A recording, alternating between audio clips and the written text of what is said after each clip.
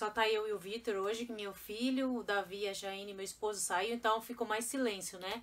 Até pedi pra ele abaixar o vídeo, né, Vitor? Vem aqui falar oi no meu vídeo. Tá bom. Senta aqui. Larga o controle da mão. Fala oi. Oi, Fala o seu nome. é Vitor. Vitor, quantos anos você tá agora, Vitor? É, seis. Tá com 14 anos, gente. E hoje o assunto vai ser sobre ele, o meu filho Vitor. Dá um oi que agora eu vou gravar o vídeo. Fala assim, até mais, gente. Gente, tchau. então, gente, já mostrei vocês, apresentei o Vitor, como ele está agora. Pode ir pra lá, Vitor. E aí, gente, eu queria é, falar pra vocês. Já tem até um vídeo. O Rex sempre começa a latir quando eu tô gravando, gente. Já tem até um vídeo aqui no meu canal, quando eu falei sobre o Vitor, né? Pra quem não sabe, o meu filho, o Vitor, ele é autista, gente. Então, ele já tá na fase da adolescência. E eu queria falar pra vocês a minha experiência com ele, né? É, já tem um vídeo, como eu tava falando pra vocês aí no vídeo, já tem um vídeo aqui no canal. Nessa época que eu gravei, ele tava com 9 anos, só que ele não apareceu no vídeo porque ele tava estudando. Nessa época ele estudava o dia inteiro. Então vocês vão ver que foi o Davi que apareceu. E o Davi tava com uns dois anos, mais ou menos. Acho que é nessa coisa. Então, gente, eu anotei tudo aqui no caderno, porque senão eu vou esquecer o que, que eu ia falar. Então eu anotei, né? Porque é muita coisa, só que assim, eu vou resumir bem pra vocês, tá, gente? O tema do vídeo é atualização sobre meu filho Vitor na, na fase da adolescência, gente. Quero falar pra vocês sobre isso pra vocês. Então, bora pro vídeo. Vou deixar a vinheta do vídeo aqui passando.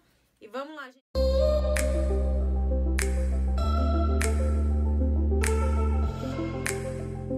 gente conversar. É, eu sei que ninguém me perguntou, primeiramente eu vou falar isso, vou me apresentar também, né? Porque tem muita gente nova aqui no meu canal. Eu me chamo Jaqueline, como tá aqui Jaqueline Lima Jaqueline. embaixo no meu canal. O meu filho Vitor eu já apresentei pra vocês. Ele tem 14 anos, a minha filha Jaine fez 16 anos. E o Davi tem 5 anos. Agora, essa semana, ele vai fazer um aninho de idade. Um aninho. Nada a ver, gente, que eu falei. Vai fazer 6 anos. E meu esposo, Ricardo, tá, gente? Então, pra quem não quem é novo aqui, seja muito bem-vindos. Que chegou muita gente nova no meu canal, sejam muito bem-vindos. Deixa aqui no comentário, gente, o que, que vocês acham do meu vídeo, tá? Eu senti de fazer esse vídeo, sabe? Porque, como ele já tá na fase da adolescência, eu vou falar a experiência, a minha experiência que eu tenho com ele no dia a dia. E o primeiro tema que eu coloquei aqui, gente, como está sendo a fase dele agora, gente. Eu vou deixar aqui no, na descrição do vídeo aqui. E vou deixar também aqui no vídeo, tá? Passando aqui o que eu tô falando pra vocês. Então, gente, é, pela fase do Vitor agora, de, da fase da adolescência, vou falar pra vocês que foi um pouco complicado, assim, sabe? Porque, tipo assim, são várias etapas, são várias é, mudanças de comportamento. Vou falar assim pra vocês, na minha visão. Vou, já vou deixando bem claro aqui, gente, que eu não sou nenhuma expert. Eu fui aprendendo conforme o tempo, como eu vim falar no outro vídeo, que vocês vão ver, eu vou deixar aqui no encard aqui pra vocês verem o outro vídeo, que tava na fase de criança. Então, gente, eu não sou nenhuma expert, não sou estudada nisso, nada disso. Simplesmente eu tô falando a minha experiência de eu como mãe com ele, tá? Como que ele age na, no dia a dia na minha casa, conforme esses anos eu fui percebendo as atitudes dele. Então, gente, vou falar assim do início. Vou falar um pouco do início, né? Porque senão se eu falar muita coisa, vai ficar muito longo o vídeo e vocês vão cansar muito. Então, gente, no, no início, pra gente descobrir foi difícil, não foi fácil pra nós, não foi fácil mesmo, como não tá sendo até hoje. Cada momento é uma etapa, cada momento é uma dificuldade e é uma aprendizagem também, né? Que eu vou falar pra vocês. Quando eu descobri que o Vitor tava com essa síndrome de Asperger, que é o autismo, eu não sei que nível que ele tá, né? Que fala que agora é suporte, né? Antigamente, quando eu descobri, era só autismo e, a, e síndrome de Asperger. Só, mais nada. Agora que foi vindo essa descoberta de fase, é, suporte 1, 2 e 3. No meu ver, se eu for ver pelo que eu pesquisei, ele tá no suporte 1. Que é a criança que não sabe falar, não, não escreve como ele é a fase dele. Não fala muitas palavras, o Vitor até hoje, né?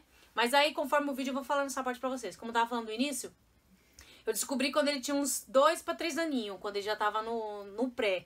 Onde a gente morava, que não era aqui, era em Franca, né? Onde a gente morava, nós moramos um tempo lá no interior de São Paulo. Então foi lá que eu descobri através das professoras, porque na minha cabeça, gente, a maneira que ele agia pra mim era super normal.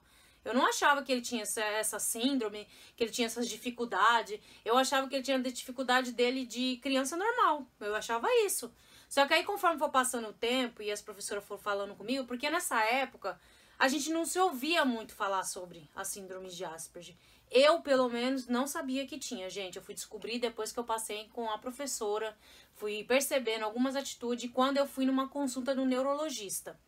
Quando marcaram essa neurologista, a própria escola na época, gente, elas mesmas marcavam o neurologista, não precisava ir no posto nem nada. Na UBS de lá, no caso, de Franca. Então eles pegaram, me encaminharam e eu fui no neurologista. Só, mãe, vai lá, ver, né, como é que tá, porque o Vitor tem essa dificuldade. Ele tem. Ele não tem medo de perigo. Tanto que eles me falaram que tinha uma fiação da escola que tava meio solto. O Vitor foi lá, pôs a mão. Graças a Deus, gente, que tava desligada a energia desse fio, né? Mas assim, eles acharam muito perigoso a forma como ele se comportou, como ele reagiu. Então foi nessas coisas que eles foram falando, fora os comportamentos, o isolamento, que ele não gostava muito de ficar junto das outras crianças, não tinha muita associação dele nessa parte, sabe?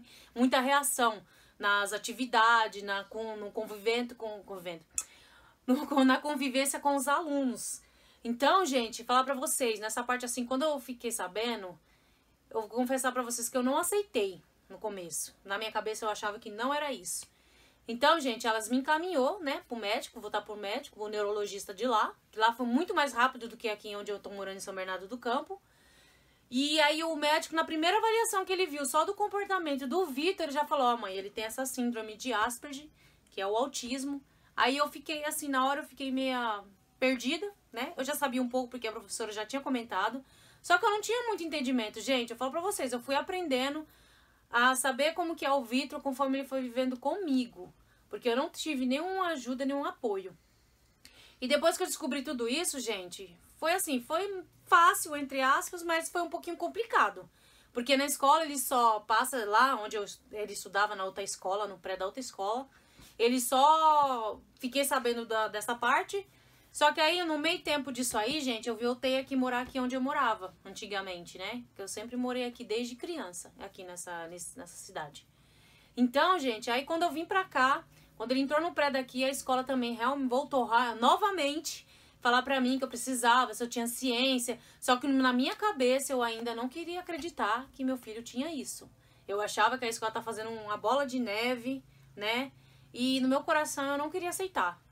Por, Deus que tá no céu, gente, que eu não queria aceitar essa parte. Porque é difícil, gente. Qualquer, qualquer coisa que a gente descobre dos nossos filhos é difícil para nós. E nessa época, nessa época que eu descobri, que era na época de 2010, 2011, por aí que eu descobri que ele tinha essa síndrome. Então eu não sabia muito e eu não tinha muito acesso sobre essas coisas. Eu demorei muito para ter acesso à internet lá. Porque quando começou o Wi-Fi, essas coisas assim, eu não tinha ainda condição de pedir, porque era muito caro quando começou, sabe?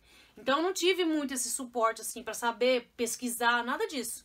Então, daí quando eu vim pra cá, voltando a que eu tinha falado, é, aqui a escola começou a mandar eu ir no, no posto, aquela, é aquela coisa de sempre, gente. Passei no posto de saúde, eles me encaminharam para um lugar aqui que é o, o SER, que aqui é o Centro de Reabilitação, né? De crianças deficientes, com vários tipos de deficiências que vocês imaginar lá eles tratam. Neurologia, psiquiátrica, é, neuropediatra, é, neuropsicanalista, uma coisa assim, gente. Eu não sei muito falar porque esses nomes é muito difícil, sabe? Então, mas eu acho que vocês estão entendendo um pouco o que eu tô querendo falar. Então, gente, quando eu passei lá, ele começou a passar pela, pelo neuro, né? Primeiro neuro, né? Que era o doutor André. Começou a passar por ele. E ele foi me explicando, foi falando comigo, eu fui tirando minhas dúvidas eu falei com ele, falei assim, ó, oh, doutor, ele é assim, assim. Então, na escola, lá no pré, eles me cobram muito. É, a parte da fralda também, que eu vou falar pra vocês que foi difícil também, gente. Mas se vocês quiserem que eu grave um vídeo sobre essa parte da fralda dele, eu falo também pra vocês.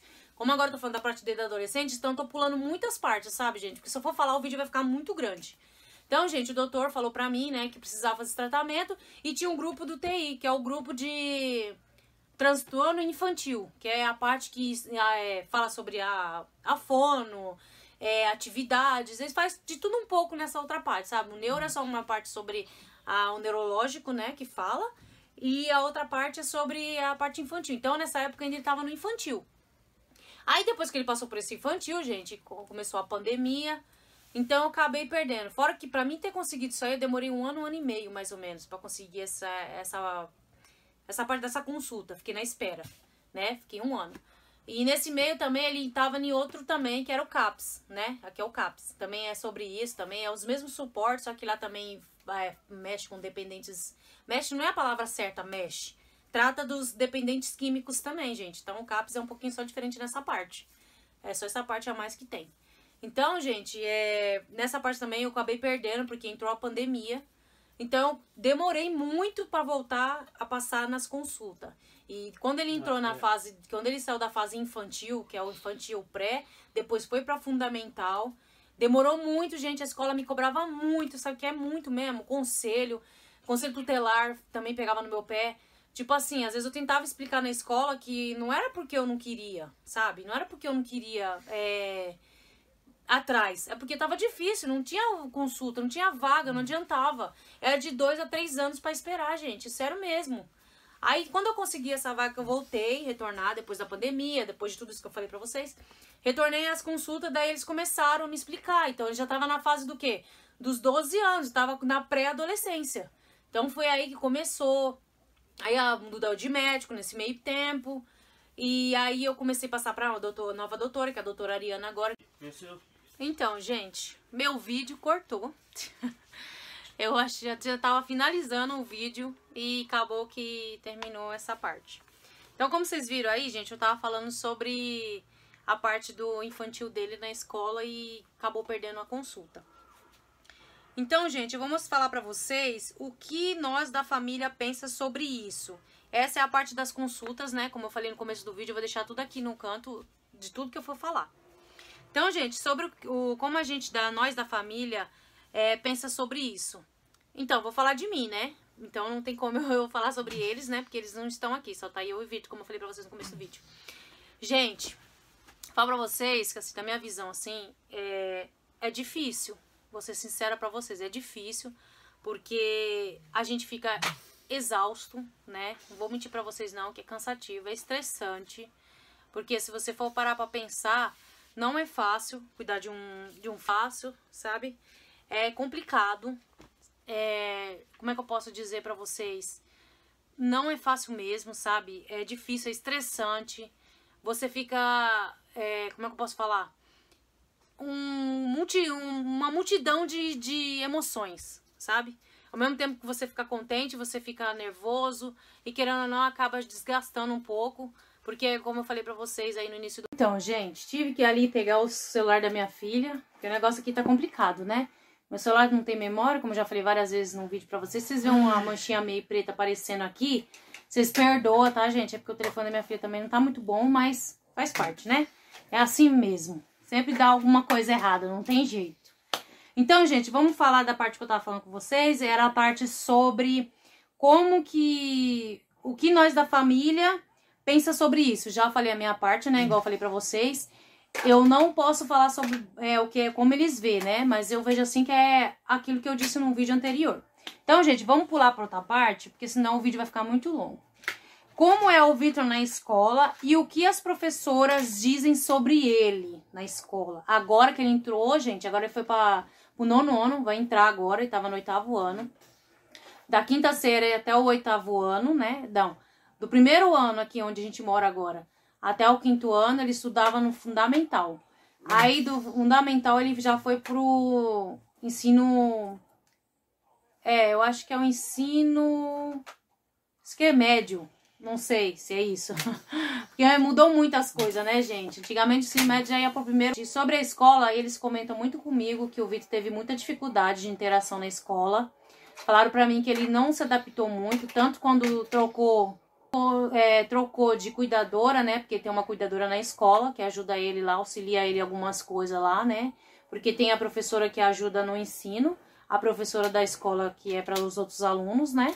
E ela que é a cuidadora que fica com ele na escola. A visão deles que falam para mim que o Vitor nessa parte assim, no início ele deu muito trabalho porque ele não conseguia é, ser sociável com os alunos deu, foi muito difícil né, período de adaptação, porque como ele trocou de uma escola para outra, ele já estava acostumado com a outra professora. E quando vai para a escola do ensino médio, que é estadual, né? Depois sai da fundamental, vai para estadual, Então é muita diferença, gente. Tanto é difícil para ele como para outras crianças também. Imagina para ele a cabeça dele como ficou durante esse processo de troca. Então foi difícil para ele se adaptar, porque lá ele tinha duas professoras, uma que ajudava e a professora que é a professora mesmo dos alunos, que é auxiliar, né? Auxiliar e a professora. E no, no ensino médio são vários professores, são cinco no dia, né?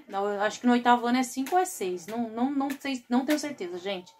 Então foi difícil para ele se adaptar, desacostumar, novas amizades, novos professores, novo ambiente. Então foi difícil de se adaptar. Então, quando ele começou a ter a primeira cuidadora, ele não se adaptou com a cuidadora também, então teve que fazer essa troca. Então, é nessa parte assim um pouco deu um pouquinho de trabalho, sabe? Mas aí depois foi passando o tempo, já se adaptou, ficou melhor, é, se associou mais aos alunos, sabe? Nessa parte assim o que eles falam para mim é que o Vitor mudou muito nessa parte. Aí, gente, nós vamos pular para o outro tema que é quais são as dificuldades do Vitor, na minha visão. Na minha visão, gente, na minha visão, a dificuldade do Vitor, na minha visão, é que eu vejo assim, essa parte assim, sabe, de ir ao banheiro, na, na identificação das cores, na coisa assim, do nome dele, gente, agora ele já aprendeu bastante, sabe? Aprendeu bastante nessa parte. Assim, não sei se é por causa da fase da adolescência, ele já ficou mais, amadureceu, entre aspas, um pouco, né, gente? Mas assim, nessa parte assim da identificação, da visão, no olhar, sabe? Ele não consegue muito. Eu sei que já é uma, uma característica do autismo, né? Porque eu já procurei saber muito aqui no YouTube sobre essa parte. Como eu falei no início do vídeo para vocês, eu não tive muito essas partes assim de ficar procurando muito, porque na minha época, ainda no, no início, não, nós não tinha ainda Wi-Fi, nem acesso ao YouTube, nada dessas coisas. Então eu fui aprendendo agora depois que eu vim para cá que eu comecei a ter o contato com o Wi-Fi. Então eu consegui aprender. E também pelas consultas, né? Que depois que eu voltei, como eu falei para vocês, da pandemia. Então eu fui aprendendo mais assim. Que eu não tive contato com outras mães que tinha essa parte, que tinha filho assim. Então eu não aprendi muita coisa, não tinha muito apoio nessa parte. Tanto que, igual eu falei pra vocês, foi difícil de eu aceitar no início. Porque não é fácil, gente. Falar que é fácil é mentira, porque não é fácil você ter um, uma pessoa que é totalmente dependente de, vo de você. Porque querendo ou não, gente, ele é dependente de nós. Nós também somos dependentes dele, mas ele é dependente de nós. Então a gente tem que estar sempre monitorando ele o tempo inteiro, sabe assim? Então eu vejo muitas dificuldades, dificuldade na hora do, da comida. Eu tento é, motivar ele, pegar o alimento sozinho, mas assim, é difícil para ele, porque tipo assim, ele não consegue fazer várias coisas. Um exemplo, se eu falo uma coisa para ele aqui agora, Vitor, vai pegar uma comida. Vitor, vai beber água, vai pegar caneca. Então é muita coisa, muita informação na mente dele. Ele não consegue conciliar assim, ah, eu vou pegar o prato, vou pegar a colher, vou pegar a comida, tudo ao mesmo tempo, sabe? Igual a gente Verdade, assim. Porque já é difícil pro homem, né? O homem em si. Imagina para ele que tem essas dificuldades. Então é difícil. E as outras partes que eu vejo para assim também, do nome, gente. Nessa parte do nome, o Vitor identifica bem já, sabe? Antigamente ele não identificava o nome dele. Agora ele já fala o nome dele todo. Mas assim, os números é difícil, ele não sabe muito identificar os números que eu vejo. O Vitor não consegue identificar as cores, como eu já falei para vocês. O Vitor não sabe, assim, tipo, outra coisa assim, ele não consegue lembrar do que a gente fala com ele. Um exemplo, eu troco as roupas dele de uma gaveta para outra. Ele não consegue guardar que não está mais lá. Então, sempre eu sempre faço assim, gente. Eu deixo a roupa no lugar só, naquele lugar que ele já conhece, para ele não ter essa, essa dificuldade. Assim, eu já tentei, gente, mudar para ajudar ele, para ver se ele consegue memorizar, mas não, não vai, gente, não adianta, eu não tento. Também tem outra parte, marracadarço. É uma coisa que, nossa, eu fiquei, eu fiquei muito nervosa no início, gente. Eu ficava nervosa, dava a impressãozinha que ele fazia de propósito, sabe? Mas eu comecei a perceber que não é de propósito. É dele mesmo, é a dificuldade dele. Ele não consegue é, pegar o cadarço, dar um nó, botar o cadarço, ele não consegue, gente. Eu já tentei por várias e várias vezes ele fazer essa parte. Várias. Daí sabe o que eu, eu pensei? Pensei, eu não vou comprar mais tênis com cadarço, só se ele ganhar mesmo, que Deus preparar, eu vou deixar ele usar. Mas eu comprar, eu não compro mais tênis com cadarço. Eu compro sempre tênis sem cadarço, que facilita para ele e facilita para mim também, na hora de se trocar de ir pra escola. E essa parte também, a gente também vê a dificuldade dele também, porque ele não consegue identificar a bermuda do short, nem do short da calça nem da camiseta da blusa de frio. Então a gente tá sempre tentando ajudar, sabe? Tô sempre tentando ajudar ele nessa parte, sempre tentando mostrar para ele, ó, oh, Vitor, esse aqui é a calça, Vitor, esse aqui é a camiseta, Vitor, essa aqui é a sua cueca. É tipo isso, sabe? Eu tenho que estar tá sempre ajudando nessa parte. E do tênis, depois eu vou deixar uma foto aqui no vídeo para vocês, para mostrar para vocês qual é o tênis que eu sempre peço para comprar. Peço não, eu compro, né? Quando Deus prepara, eu vou lá e compro um tênis para ele. E assim, gente, é tudo é uma fase, falar para vocês. Tudo a gente vai aprendendo conforme o tempo, a gente aprende com eles também. Não é só nós que aprende, ensina para eles, a gente aprende com eles também. Então, gente, vou passar para outro tema para vocês do tópicos aqui. Como está sendo as férias do Vitor é, nessa época, na minha visão, né? É, como está sendo as férias deles agora. E agora ele está de férias ainda. Vai ter o retorno deles aí. Não sei se vocês entenderam, vou falar novamente. Como está sendo as férias do Vitor agora, né? Como está sendo ele aqui em casa.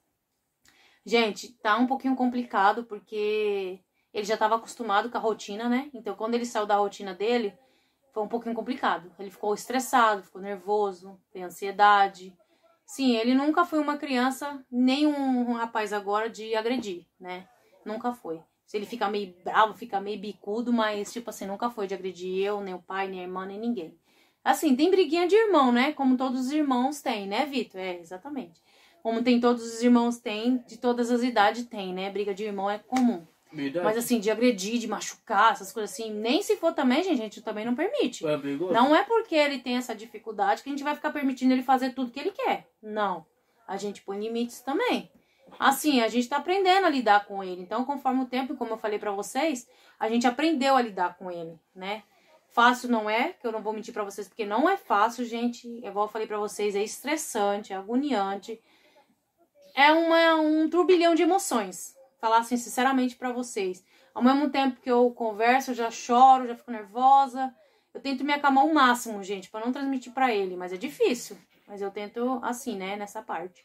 Então, gente, mais o outro tema que eu vou falar pra vocês, né, é o... Peraí, deixa eu ler aqui, gente, que eu tô ficando meio embaralhada aqui, sabe? Que eu anotei pra mim não esquecer. É, o final do vídeo agora, que é o último ponto do assunto que eu tava falando com vocês, é um ponto positivo do Vitor que a gente vê. Que não só tem coisas ruins, gente. Ruim assim que eu falo, assim, dificuldades, né? Não vou falar a palavra ruim, que as pessoas interpretam a gente errado. Não é palavra ruim. É as dificuldades que a gente vê, a gente vê no convívio com ele, né? Na escola eu sei poucas coisas, porque eles comentam às vezes quando tem reunião. Mas o ponto positivo que eu vejo do Vitor, assim, gente, que ele é muito prestativo, o Vitor. O Vitor é prestativo. Eu não preciso falar as coisas para ele. No comecinho, eu ficava tentando botar ele para fazer alguma coisa, sabe? Tentando colocar ele para fazer alguma atividade, tentando fazer ele gostar de alguma coisa, sabe assim? Mas agora não, gente. Agora ele vai por espontânea vontade. Eu acho que é porque a gente fica, ele fica observando eu e minha filha limpando a casa. Ele mesmo pega a vassoura, vai varrer a casa, sabe assim? E eu deixo, porque eu vejo assim que deixa ele feliz. E ele gosta, assim, sabe, do retorno. Ele, ele gosta de ver nosso retorno com ele. É igual quando ele vai tomar banho, passar desodorante. Como a gente sempre fala pro irmão dele para dar um cheiro nele, ele pede para dar um cheiro nele também para ver que ele como ele tá bonito, cheiroso. Ele gosta dessas coisas. Acho que todo mundo no geral gosta de ser elogiado. Ele não é diferente, ele também gosta. Então a gente sempre fala que ele tá cheiroso, que ele tá bonito. Ele fica a gente vê assim na carinha dele que ele fica super contente, sabe? Outra coisa também, quando eu tô lavando roupa, ele tem, me ajuda a estender. Coisas, coisas assim que eu vejo assim que são coisas para mim que é muito gratificante, porque eu vejo a evolução dele, sabe? Na conversa, o Vitor falava muito poucas coisas, gente, muita pouca coisa mesmo. Tipo assim, falava só sim não. Agora ele fala assim ainda, o não, né? Porque o não dele é o não de não querer fazer as coisas, sabe? Quando ele não quer não, não, não e pronto. Só que assim, eu tento conversar, eu tento explicar. Mesmo que eu sei que tem coisas que eu falo e não tá entendendo, mas eu tento explicar o máximo que eu posso, sabe? Do meu jeito. Porque eu também não tenho estrutura, não tenho uma ajuda psicológica para me ajudar nessa parte. É como eu falo para vocês, e sempre falei lá no, na clínica que eu passo, sempre falo para as mães deviam ter um suporte nessa parte, sabe? Porque não é fácil para nós também, não é fácil, é desgastante, como eu falei pra você, é desgastante, você fica nervosa, você fica estressada, fica um turbilhão de emoções, você chora, você ri, você se entristece. Porque é igual assim, quando eu recebia algumas coisas da escola sobre o Vitor, eu me entristecia muito, gente, muito mesmo. Teve uma vez que eu, eu chorei muito nesse dia, chorei muito. Eu tenho um grupo da escola, né? E tem um grupo das mães especiais e o um grupo da escola. Aí teve no grupo da escola que aconteceu com outra criança lá na escola dele, que não sei se brigou, se bateu em outra criança, não sei. No crise de, na crise dele, sabe? Que tem que. É igual fala assim, tem o um nível de suportes que ele fala, mas como eu conheci, na época que eu conheci, não existia esse negócio de suporte. Eu acredito, porque nem lá no ser eles não falam que suporte que o Vitor é. Na minha visão que eu vejo como de muitas buscas que eu fiz aqui no, no YouTube, eu vi que o Vitor é um nível 1, né? Que é a criança que não tem o transtorno da fala, porque ele tem o F84, né? Que é o transtorno de fala. E o dele é o, F, o F79, eu acho que é, que é do laudo dele, eu acho que é isso aí. Então, o F84 é o transtorno de fala. Então, eu busquei muito sobre isso, busquei aqui na internet, busquei nos vídeos. Então, eu vejo assim que ele é do suporte 1, né? É o que eu acho, né? Não tenho certeza, mas eu acho que é isso. Então, ele já é o mais avançado, ele não tem... É a alfabetização, ele não tem não tinha comunicação, agora já tem, né, nos pontos positivos que eu falei para vocês. Ele não tinha assim o contato, contato que eu falo assim de estar tá junto de pessoas, até da família mesmo. Às vezes o Vitor era muito isolado, ele não era muito de ficar contato. A única pessoa que chegava mais assim era com as vó. E outro ponto positivo, gente, voltando àquela parte do ponto positivo que eu tava falando pra vocês, o Vitor é muito carinhoso, gente, muito carinhoso. Ele é muito de falar eu te amo, ele demonstra na, nas, nas expressões, na, no falar, no abraçar. Ele é até mais do que a gente, gente. Nessa parte, eu, eu, eu admiro muito o Vitor nessa parte. Porque eu, eu aprendo a ser coelho, porque eu sou um pouquinho mais fria nessa parte, sabe? Eu não sou muito de ficar muito agarrando, muito coisa. Então eu aprendo muito com ele nessa parte, assim, sabe? Eu vejo que ele é muito amoroso. Não que eu não falo que eu amo ele, eu não, eu não, não retribuo para ele o que ele fala comigo. Mas assim, eu vejo assim que eu aprendo muito com ele nessa parte. O Vitor é muito expressivo, ele é muito de falar, muito de, de, de abraçar, coisa que ele não era, ele não era assim. Então são esses pontos positivos, gente, que eu vejo. E também outra, antigamente quando a gente saía com ele, lógico, o Vitor nunca foi uma criança de fazer birra, sabe, gente? Mas assim, ele era muito. Como é que eu posso falar pra vocês? Se isolava muito. Ele ficava muito, sabe, assim, meio reprimido, assim, meio com vergonha, assim, sabe? Não gostava de andar não gostava de ficar pegando na mão. Hoje em dia, assim, ele pega, mas não é muito assim, sabe? Eu pego um pouquinho da mão dele, ele já solta, mas eu já vejo assim que ele não fica muito recusando muito mais. Então, na, na parte alimentar, o Vitor come muito bem, gente. Nessa parte não tem um problema com ele. Então, come tanto que a gente às vezes tem que mandar parar. Fala, Vitor, chega, já deu, calma, vamos parar, que já comeu muito, vai passar mal. Então, gente, esse foi o vídeo. Espero muito que vocês tenham gostado, que vocês tenham entendido. Como eu falei no início do vídeo, não sei se pegou, porque cortou muitas partes que eu falei do vídeo. É, vou deixar no canto aqui do vídeo aqui pra vocês, todos os temas que eu falei, tá, gente? Eu resumi muito, mas eu acabei misturando tudo num vídeo só. Era pra mim ter falado uma parte, uma parte, uma parte. Mas eu não consegui, gente, que é muita coisa. É porque não dá pra me falar muito, senão o Vitor vai... O Vitor. O vídeo vai ficar muito longo. Então eu tentei resumir o máximo para vocês. Se vocês gostarem desse tipo de vídeo de sobre o Vitor, né, sobre a síndrome dele, como eu falei para vocês, eu falei sobre a parte dele da adolescência agora. Já tem um vídeo no canal dele. Eu acho que nessa época ele tava com uns 9 anos, só que quem apareceu no vídeo foi o Davi. Eu não gravei com o Vitor aparecendo, porque tava na escola, eu estudava nessa época no fundamental, então eu estudava o dia inteiro, então não tinha como eu gravar com ele. E quando ele chegava da escola, gente, ele tava cansado, já queria dormir. Então, gente, é isso aí. Eu espero muito que vocês tenham gostado do vídeo. Já deixa o seu like. Se você for novo aqui, seja muito bem-vindo, tá, gente? Muito obrigado por estar aqui junto de nós. Obrigado mesmo de coração. Eu espero muito que vocês tenham gostado desse vídeo, muito, muito mesmo. Eu vou ver se eu consigo postar ele hoje ou amanhã, tá, gente? Eu vou editar ele, vou tentar postar ele hoje ou amanhã. Se vocês gostaram desse vídeo, deixa no comentário, deixa o like. Fala pra mim, gente, se vocês gostam desse tipo de vídeo que eu penso assim que a minha experiência com meu filho pode ajudar outras mães também, porque é como eu falo para vocês aí no vídeo, não sei se corta também essa parte, mas eu vou falar novamente. Eu não sou expert, não sou estudada nisso, não tenho formação nenhuma nessa, nessa aí. A minha formação é formação de mãe, que lida com isso todos os dias, gente. Todos os dias é um aprendizagem, todos os dias é uma experiência nova, todos os dias eu aprendo algo com ele. Então eu tô passando a minha experiência para vocês. Se vocês quiserem também passar a experiência de vocês, deixa aqui embaixo no comentário, tá, gente? Espero que vocês tenham gostado. Se vocês gostam mais desse vídeo, eu vou posso falar outros vídeos, outras coisas também para vocês. Já deixa o seu like, se inscreve no canal e vem dar tchau, Vitor. Vem despedir do povo. Ele vai dar tchau pra vocês, gente. Tchau. Vem aqui, senta aqui do lado da mãe. Ele tá meio acanhado. Dá, dá tchau. Tchau, gente. Tchau. Fala pra eles deixar o quê, Vitor? Aqui. Mostra aí o dedinho pra eles, o like. Aqui, ó, no vídeo aqui, ó. Deixa lá. Vamos mandar beijo pra eles? Um beijo pra vocês. Fiquem todos com Deus e até o próximo vídeo, gente. Tchau. Deus abençoe. Tchau.